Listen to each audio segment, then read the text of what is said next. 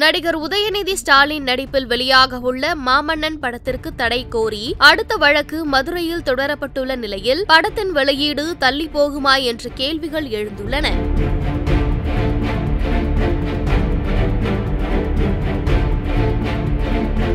சமீபத்தில் பெரிய அளவில் எதிர்பார்க்கப்பட்டு எதிர்ப்புகளையும் சந்தித்து வரும் படம் என்றால் அது மாமன்னன் தான் முன்னர் உதயநிதி நடிப்பில் உருவாகி வந்த ஏஞ்சல் என்ற படத்தின் தயாரிப்பாளர் மாமன்னன் படத்திற்கு தடை கோரி வழக்கு தொடர்ந்தார் அந்த வழக்கில் இன்று ரெட் ஜெயின் மூவி சார்பில் பதிலளிக்கப்பட உள்ளது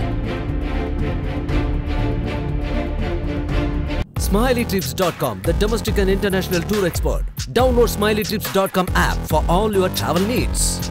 அதேபோல அகில இந்திய ஃபார்வர்ட் பிளாக் கட்சியினர் படம் ஜாதி கலவரத்தை தூண்டும் விதமாக உருவாகி உள்ளதால் படம் வெளியிடப்பட்டால் தேனி வெற்றி திரையரங்கு மீது தாக்குதல் நடத்தப்படும் என நேற்று அதிரடியாக அறிவித்திருந்தனர். இதனைத் தொடர்ந்து தற்போது படத்திற்கு தடை விதிக்க கோரி உயர்நீதிமன்ற மதுரை கிளையில் மனு தாக்கல் செய்யப்பட்டுள்ளது.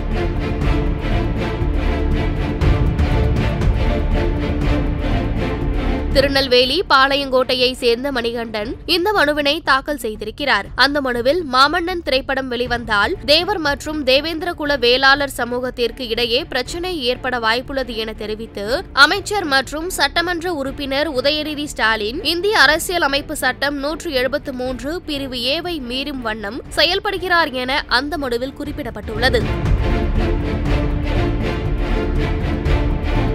தென்காசி மாவட்டத்தில் சுதந்திர போராட்டத்தில் ஈடுபட்ட காத்தப்ப புலிதேவன் என்பவரை மாமன்னன் என அழைப்பார்கள். அவரை தவறாக சித்தரிக்கும் வண்ணம் இப்படம் அமைந்துள்ளது போல தெரிகிறது என தனது மனுவில் மணிகண்டன் சுட்டிக்காட்டியுள்ளார்.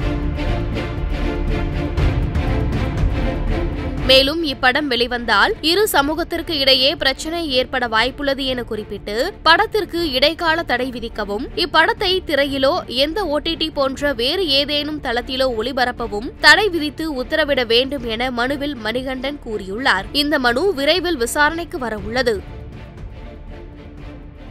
செய்திகளை உள்ளது உள்ளபடி தெரிந்து கொள்ள ரெஃப்ளெக்ட் நியூஸை சப்ஸ்கிரைப் பண்ணுங்கள்